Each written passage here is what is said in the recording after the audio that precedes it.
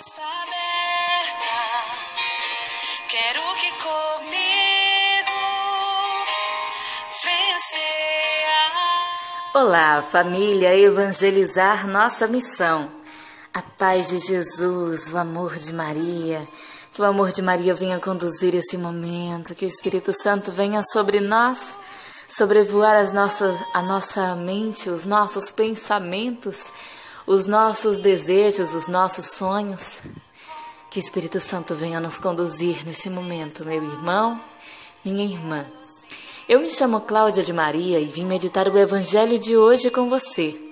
Gostaria de iniciar saudando com a paz de Cristo a todos os irmãos e irmãs que compartilham os áudios do Evangelizar Nossa Missão e convidar a todos para compartilhar esse áudio também, que é do Evangelho de São Lucas, capítulo 12, versículos de 35 a 38.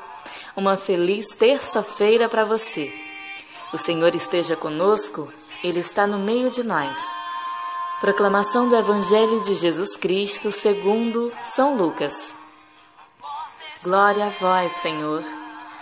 Naquele tempo, disse Jesus aos seus discípulos: Que vossos rins estejam cingidos e as lâmpadas acesas. Sede como homens que estão esperando seu Senhor voltar de uma festa de casamento para lhe abrir imediatamente a porta, logo que ele bater.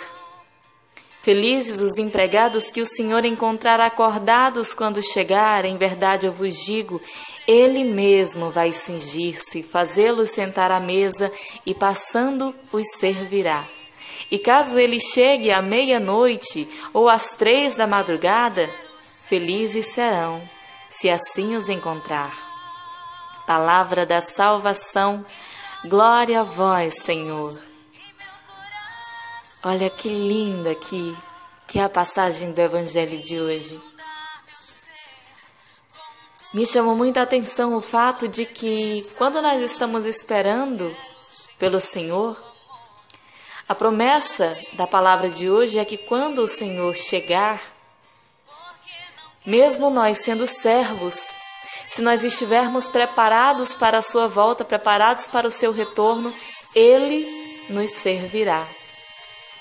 É o Rei quem irá te servir. Olha que honra. Olha que grande honra o Senhor tem reservado para aqueles que o esperam. Meu irmão, nós temos consciência da dificuldade que é esperar por Cristo. Porque não é simplesmente cruzar os braços e esperar Ele vir do céu e levar aqueles que são seus. Mas é esperar vigiando, é esperar acordado, é esperar alerta. Alerta para tudo aquilo de ruim que o mundo tem a nos oferecer. Alerta para aquilo que é negativo para a nossa alma, para o nosso espírito. Alerta, atentos. É assim que o Senhor quer nos encontrar. Ele quer que nós possamos estar à espera dele verdadeiramente. Que nós estejamos prontos para quando ele chegar e bater. Nós precisamos estar preparados. Mas aí eu te pergunto: você está preparado? Pense, faça uma reflexão que nós possamos nesse momento refletir tudo aquilo que nós fizemos nessa semana anterior, nessa semana que passou até o último domingo. Será que nós não fizemos nada que ofenda o Senhor? Será que nós fomos corretíssimos? E se o Senhor voltasse hoje, agora, nesse momento, no momento em que você está ouvindo esse áudio, se esse fosse o momento do retorno de Jesus, você estaria pronto? Eu consigo sentir muitos nãos. Eu mesma não sei se estaria pronta. Eu creio que não. O céu, ele é algo maravilhoso.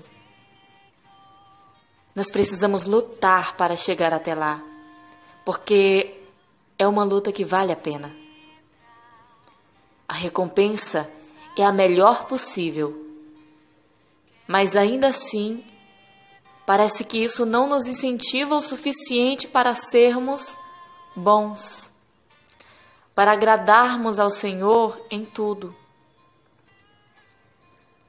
Eu consigo pensar em diversas coisas que eu fiz que desagradou o coração do Senhor durante essa semana passada.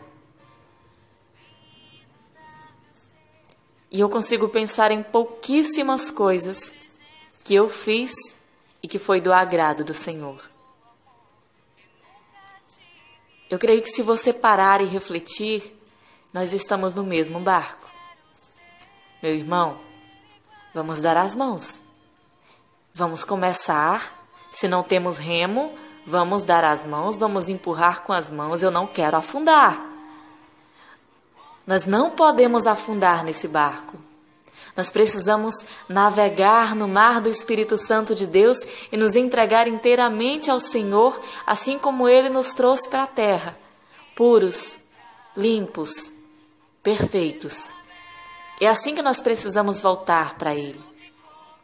O nosso corpo, isso aqui, é só uma carcaça se isso aqui estiver ferido, se isso aqui estiver podre, não importa.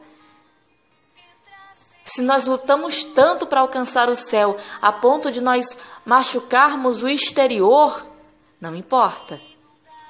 É o interior que interessa. Esse nosso corpo é apenas um vaso, um templo do Espírito Santo de Deus. E é esse espírito que nós precisamos preservar. Preservar do egoísmo, preservar da avareza, preservar do ocultismo, preservar de todas as impurezas que esse mundo tem a nos colocar aí de mãos beijadas, nos fazendo acreditar que é o correto, que, não, que tanto faz, que não importa, que temos que nos adequar às modernidades, que o mundo hoje em dia é assim. É isso que o mundo quer nos fazer engolir. Nós precisamos estar libertos do pecado e aprisionados em Cristo. Porque o próprio Senhor diz: Conhecereis a verdade, e a verdade vos libertará. Que nós possamos permitir que a liberdade de estar aprisionados no Senhor, possa nos dar força e vigor para alcançarmos o céu juntos. Que nós possamos deixar de ser egoístas e achar que eu preciso lutar por mim e que o próximo não importa. Lute por você, mas lute pelo seu irmão. Lute por aqueles que não creem. Ame o Senhor, venere, adore o Senhor como diz a oração por aqueles que não creem, não esperam e não adoram. Que nós possamos lutar por nós e pelo próximo, porque quanto mais almas juntarmos para o céu, maior será a nossa recompensa do outro lado. Que Nossa Senhora possa interceder por nós nesse momento.